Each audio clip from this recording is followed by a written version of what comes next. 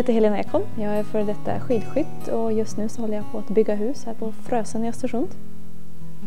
Jättespännande att bygga hus och få vara med från början och bestämma hur det ska se ut och inte anpassa sig efter att någon annan har bott här utan vara med från grunden och göra alla val själv. Och sen tycker jag vi har hittat en fantastisk plats här ute på Frösön med utsikt över både sjö och fjäll.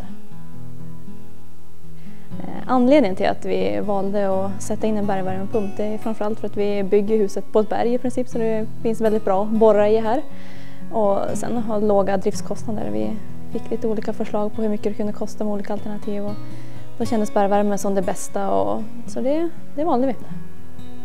Eh, förra hösten så började vi planera för husbygget. Då var jag på en hem och villamässa i Stockholm och där gick jag runt och tittade faktiskt på lite olika värmelösningar och grejer och fick väldigt bra bemötande av IVT. De som jobbade i den montern där och de var jättetrevliga och förklarade väldigt bra så till och med jag förstod när de förklarade så det var väldigt bra första möte med dem tycker jag.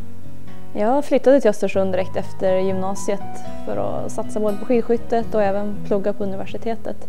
Och det var fantastiska förutsättningar här. Och sen har jag och min man känt att vi ville vara kvar här och börja leta tomt. Och så hittade vi den här perfekta ute på Frösön, mitt i vår gamla intervallbacke. Det är många rullskidåkare som åker i backen här utanför. Det är bästa i hela stan, två kilometer lång. Så jag har sagt det att när jag flyttar in här då ska jag njuta framförallt på lördag morgon när man hör de här stavspetsarna som åker i asfalten. Då ska jag bara vända på kudden och somna om och njuta. Jag tycker det är väldigt viktigt med miljön och tänka på att vi ska ta hand om jorden.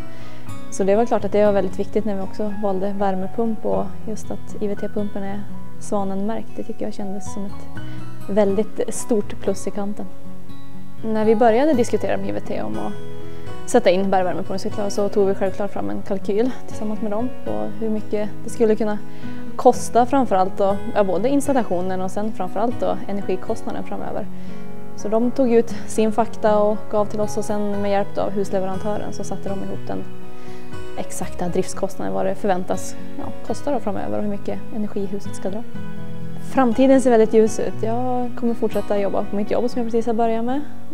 Och, eh, Sen naturligtvis flytta in i huset och få börja inreda, det tycker jag är roligaste med hela processen. Jag har längtat nu väldigt länge. efter Att få börja ja, med tapeter och lite roliga grejer.